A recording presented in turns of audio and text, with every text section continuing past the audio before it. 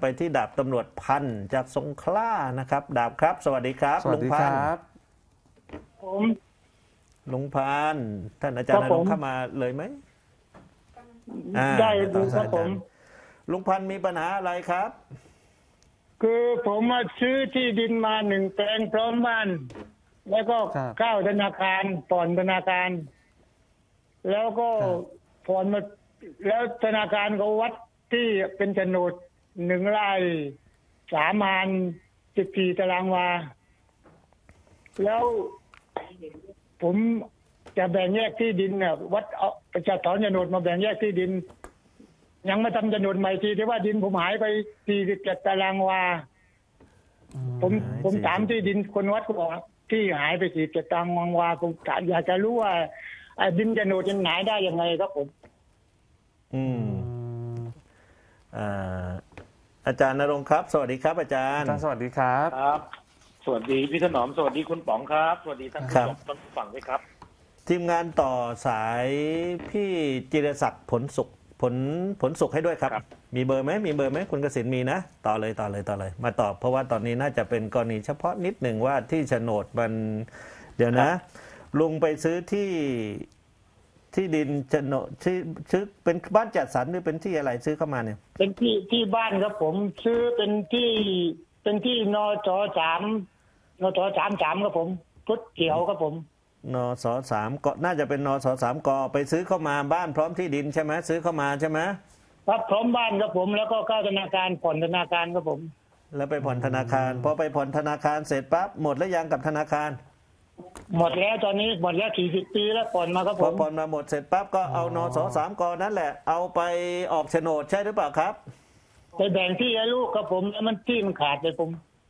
ไปแบ่งที่ให้ลูกออกเป็นโฉนดปลายหลังใช่ไหมครับผมตัดไปสองแปลงครับผม อ่าห้าหลัง จากเดิมจากเดิมหนึ่งไร่สามงานสี่สิบตารางวา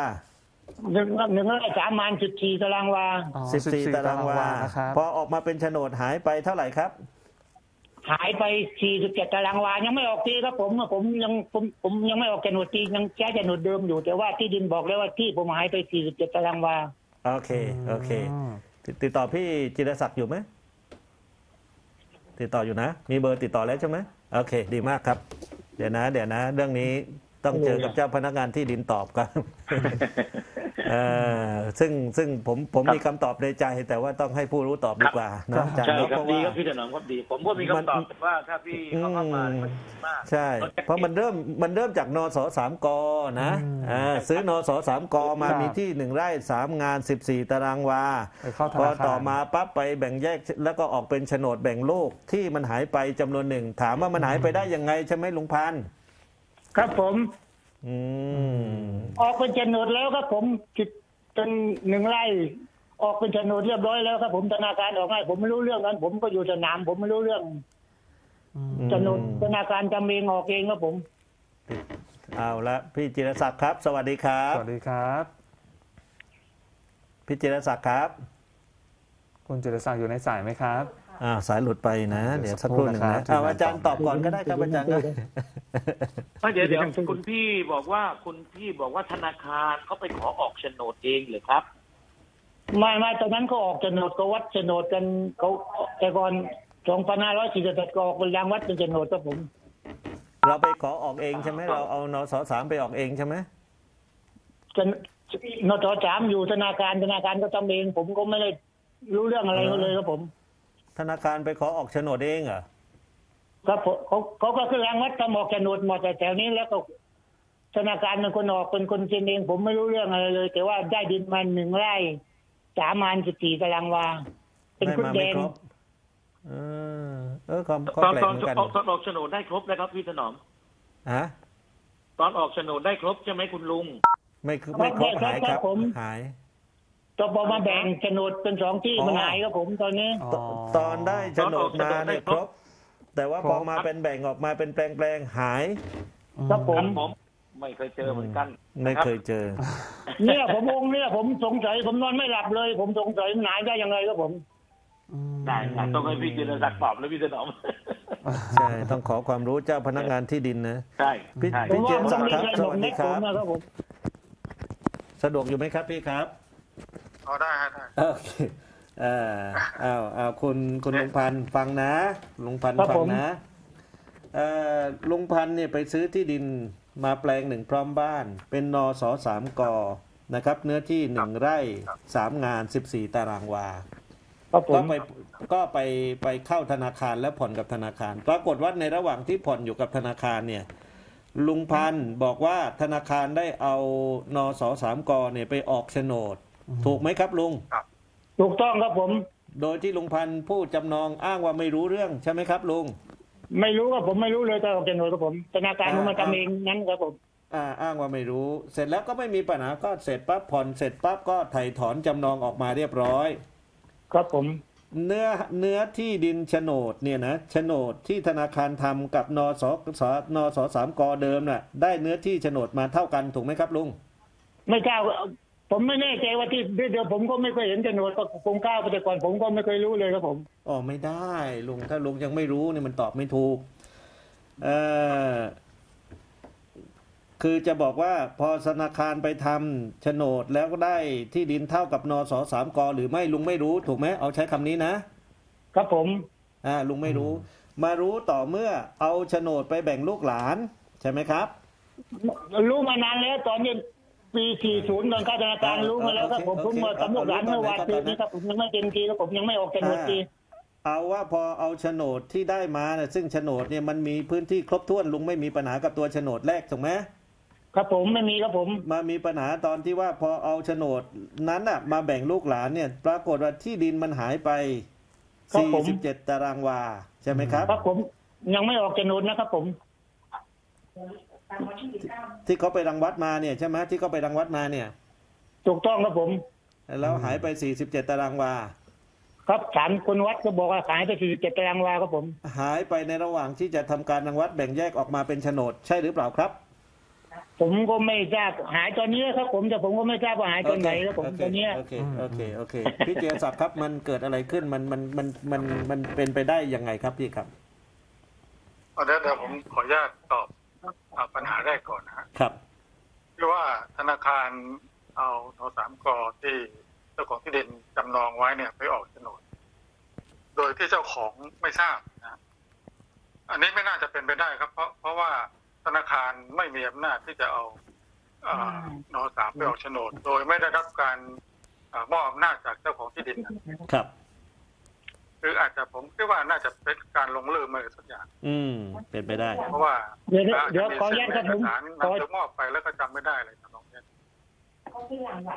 ครับดาบครับ อันนี้อ่าครับจะจะถามว่าไงครับ ตอนที่ออกโฉนดอะยินอยู่ธนาคารครับผม พอขึ้นรางวัดเป็นออกเป็นโฉนดครับผมจากนทสามกแล้วออกก็ออกเป็นโฉนดแล้วก็ออกมาเป็นโฉนดที่ดินเงินได้มาเนื้อที่มาตอนนั้นครับผมอ้าวพี่ดาบอย่างนี้นะ ลุงดาบนะลุงพันธุ์นะครับผมลุงลุงให้ป้าที่ภาคลุงอย่าหยุดพูดก่อนนะครับผม อืม ผมถามลุงลุงตอบคนเดียว ถ้าลุงไม่รู้ตอบว่าไม่รู้ ถ้าลุงไม่รู้ครับผมป้ารู้กลับไปถามป้า แล้วก็ตอบมาแต่ว่าป้าอย่าภาคมานะ เดี๋ยวมันจะสับสนนะ ครับผม โอเคไหมโอเคไหมโอเคครับผม เราเป็นตำรวจเก่าเดี๋ยวก็จับเมียอะไรแหละเดี๋ยวนะลุงพันธุ์เนี่ยเออเอางี้กันผมวางเอาไว้ก่อนว่า โอเค กระบวนการออกตรงนั้นตั้งไว้ก่อนนะ เอาเฉพาะว่าโฉนดพอมาแบ่งแยกให้ทายาทเนี่ยทำไมมันหายไป 47 ตารางวาเอาประเด็นเดียวนะลุงนะคำถามนี้ใช่ไหมลุง ครับผม โอเคครับเชิญครับพี่เจียศักดิ์ครับ ครับอ่าผมขอถามเพิ่มเติมนิดหนึ่งว่าเอ๊ะ ที่ดินที่อยู่อยู่จังหวัดไหนครับสงขลาครับ สงขลาลุงขาครับผมสงขลาอำเภออะไรครับอำเภอสาทิงพระสถิงพระครับอืมสถิตครับอ๋อครับอยู่ทางตอนเหนือนะตอนเหนือของจังหวัดครับ เอ่อผมผมอธิบายอย่างนี้นะฮะเรื่องเรื่องการนำเอาหลักฐานนสามกไปออกโฉนดเนี่ยนะครับคือหลักฐานเดิมเนี่ย อาจจะคือไม่อาจจะแล้วนะหลักฐานเดิมคือนสามกเนี่ยเออก โดยใช้ระวางรูปถ่ายทางอากาศนะครับ ระวางรูปถ่ายทางอากาศเนี่ย เป็นระวางรูปถ่ายที่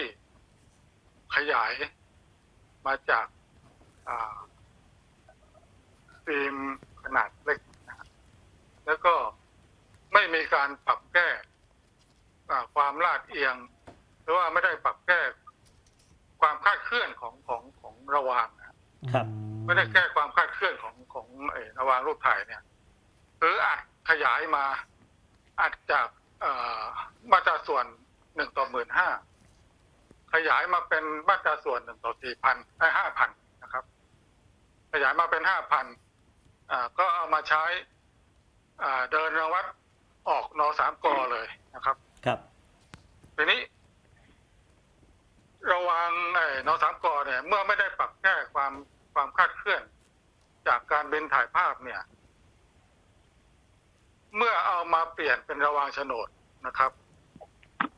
เมื่อเมื่อมีระวางโฉนดขึ้นมา ซึ่งระวางโฉนดนี่เป็นมาตราส่วนของตัวสี่พันครับ ซึ่งมีการแก้ไขจนถูกต้องนะครับ เกือบจะร้อยเปอร์เซ็นแล้วนะแก้ไขความผิดพลาดคลาดเคลื่อนจากการบินถ่ายทางอากาศเนี่ยนะครับ ความแตกต่างมันอยู่ตรงนี้คุณหนอมนะครับ อ่า ระหว่างนสามกไม่มีการปรับแก้นะครับ อัดขยายมาก็เอาไปวัดที่กันเลยนะครับ ส่วนระหว่างโฉนดเนี่ย มีการปรับแก้นะฮะจนความคลาดเคลื่อนจากการบินถ่ายทางอากาศเนี่ย มันลดลงไปเกือบจะเป็นศูนย์นะครับ ครับ เพราะฉะนั้นอ่าเนื้อที่ในอ่านสามกใน กับโฉนดเนี่ย มีน้อยมาก ๆที่จะเท่ากัน อือืมมมันแตกต่างกันไม่ทางบวกก็ทางลบครับ อ่า อาจจะได้เพิ่มก็ได้ต้องทำความอาจจะได้น้อยกว่าอะนสสามกก็ได้เมื่อออกเป็นโฉนดครับอืมครับใช่ครับ มีรับค่าความคลาดเคลื่อนอยู่ครับอะอันนี้คือคือประเด็นหลักของมันที่ว่าทำไมอ่าเนื้อที่นสามกกับเนื้อที่ในโฉนดเนี่ยแตกต่างกัน ครับ ที่มี แตกต่างมากกว่านี้ก็มีนะครับอืมน้อยน้อยกว่านี้เยอะก็มีอืมมากกว่านี้ก็มีนะครับ เพราะฉะนั้นเป็นเป็นเรื่องปกติธรรมดาคือแต่ประเด็นประเด็นสำคัญขอขออนุญาตครับ ประเด็นสำคัญอีกอย่างหนึ่งเนี่ยก็คือว่าตำแหน่งที่ดินของคุณลุงเนี่ยนะอยู่ที่เดิมไหม อยู่ที่เดิมครับผมอยู่เหมือนอยู่เดิมตำทุแหกน่งอย่างเดิมไหมนะเขตบริเวณแนวเหมือนเดิมทุกอย่าง แต่ว่าจากเดิมตัวเลขเท่านี้กลายเป็นมาเป็นโฉนดตัวเลขลดเหลือเท่านี้ถูกไหมแต่ว่าที่ดินแนวเดิมไม่ครบถ้วนทุกอย่าง คนคนข้างโทษนะคนข้างเคียงอะเขาว่าแบ่งดินแล้วเขาปักหมุดก้าวมาที่ผมแล้วก็ ผมก็เลยทำให้ดินมันเสียลูกก้านไปลูกลูกที่ดินไปครับผมอ๋อคนข้างเคียงเข้ามารังวัดและเข้ามาในที่ของลุงถูกไหม ครับมาปักหมุดหมุดเดียวนี่ครับผมทำให้ดินเปลี่ยนแปลงหมดเลยครับผมมาทำให้ดินหายไปที่ข้างเคียงเข้ารังวัดและเข้ามาในที่ของลุงทำให้ที่ดุลที่ดินลุงหายจริง ๆ ไม่ได้หายแค่เพียงตัวเลขถูกไหมครับลุงครับผมหายจริง ๆ เลยครับผม หาหายไปจากที่ดินข้างเคียงที่เขามาทำการรังวัดและเข้ามาในที่ดินของเรา ครับผม โอเคครับเชิญต่อครับพี่ครับ ครับ ถ้าเป็นลักษณะนี้นะฮะเวลาอ่าแปลงข้างเคียงมารังวัดเนี่ย สำนักงานที่ดินเขาต้องแจ้ง แจ้งเราอยู่แล้ว แจ้งเราต้องเป็นเจ้าของที่ดินข้างเคียงเนี่ย ต้องไประวังชี้แนวเขตนะครับ แล้วก็ถ้าเขารังวัดถูกต้องก็รับรองเขตให้เขาครับ ถ้าเขารังวัดไม่ถูกต้องเขาลุกล้ำเข้ามาเราก็ต้องคัดค้านนะฮะเมื่อคัดค้านปั๊บเนี่ย เจ้าที่ก็จะทำแผนที่ทำแผนที่คัดค้านไว้คล้ายๆลักษณะของแผนที่พิพาทนะครับนะครับ เสร็จแล้วเจ้าที่ก็จะต้องไปรายงานเจ้าพนักงานที่ดินนะครับ เพื่อให้เจ้าพนักงานที่ดินเนี่ย แจ้งคู่กรณีเนี่ย ไปสอบสวนอ่าไกล่เกลี่ยกันนะครับเปรียบเทียบเปรียบเทียบนะครับ จากจากเอาสามมาเป็นโฉนดเนี่ยเปรียบเทียบนะสอบสวนครับเปรียบเทียบอ่าแล้วก็ ให้เจ้าพนักงานที่เนี่ย มีอำนาจ สั่งว่าที่ดินที่ออกโฉนดเนี่ย ถูกต้องไหมยังไง ถ้า ถ้าเจ้าพนักงานที่ดินเห็นว่าดำเนินการถูกต้องแล้วนะก็สั่งให้อ่าเจ้าของที่ดินที่นำรังวัดน่ะได้สิทธิ์ไปในการรังวัดอ่าแต่ถ้าทางคุณลุงไม่ไม่พอใจนะครับ ตกลงกันไม่ได้ คุณลุงก็มีมีมีสิทธิ์ที่จะไปไปฟ้องครับ ไปฟ้องเนี่ยไปฟ้องเนี่ยไม่ใช่ไปฟ้องเจ้าหน้าที่นะครับ ครับ ไปฟ้องอ่าเพื่อให้ศาลพิสูจน์นะครับ พิสูจน์ว่าอ่าที่ถูกต้องนะมันเป็นของใครกันแน่อืมอืมแล้วเจ้าพนักงานอ่าอ่าช่างรังวัดเนี่ย ก็จะต้องไปเป็นพยานครับ ต้องเอาหลักฐานแผนที่ทั้งหมดส่งให้ศาลไปพิจารณาในชั้นศาลนะครับ ครับ อันนี้คือขั้นตอนครับ ก็ก็คุณลุงก็มีมีสิทธิ์ที่จะคัดค้านอยู่แล้วเวลาเข้ามารังวัด ลุงไม่ได้ค้างตอนเข้ามารังวัดเหรอลุงอืมโอ้วัดที่ห้าแปดเดินอยู่ธนาคารผมก็ไม่รู้แนวเขตมันเป็นป่าครับผม อืมทีนี้ถ้าเขารังวัดไปแล้ว มันก็มันก็ได้ไปแล้วตั้งแต่ปีห้าแปดนู่นถ้างั้นก็ไปแก้ไขอะไรได้ไหมครับถ้าอย่างนั้นครับอ๋อเอ่อที่จริงกำหนดคัดค้านเนี่ย จะคัดค้านในวันทำการรังวัดก็ได้ หรือจะคัดค้านอ่า ระหว่างประกาศก็ได้สามสิบวันนะครับ แต่ว่าถ้าพ้นกำหนดนั้นแล้วเนี่ยเขาก็ถือว่าเออคือคือไม่ใช่เขาอะนะผมก็พูด เป็นเรื่องของเรื่องปกติไปอ่ากฎหมายกำหนดไว้ ว่าถ้าพ้นกำหนดนี้แล้วเนี่ย เจ้าของที่ดินไม่ไปคัดค้าน ก็ให้ถือว่าการออกรังวัดออกโฉนดที่ดินนั้นน่ะถูกต้องแล้ว อืมอืมก็ให้ดำเนินการดำเนินการให้ผู้ขอไป ครับ ครับกระบวนการเป็นอย่างนั้นถ้าค้างก็ต้องแล้วก็ค้างเสียภายในระยะเวลาที่กำหนด อืมครับ แล้วก็ให้ผู้ขอเนี่ย ผู้ขอรังวัดออกโฉนดอ่าบันทึกเอาไว้ถึ งความรับผิดชอบ ของตัวเองว่าตัวเองได้นำรังวัดแนวเขตถูกต้องแล้วอืมถ้าเกิดความเสียหายยังไง ถ้ามีผู้คัดค้านต่อมาภายหลังเนี่ย อ่า จะต้องรับผิดชอบเองนะครับอืมกระบวนการก็จบแค่นั้น แล้วก็ออกออกโฉนดครับให้กับครับผู้ขอไป ผมถามพี่เจรศักดิ์คำถามสุดท้ายว่า บ่อยครั้งที่เราได้รับการร้องทุกข์ว่าที่ที่ผมเป็นโฉนด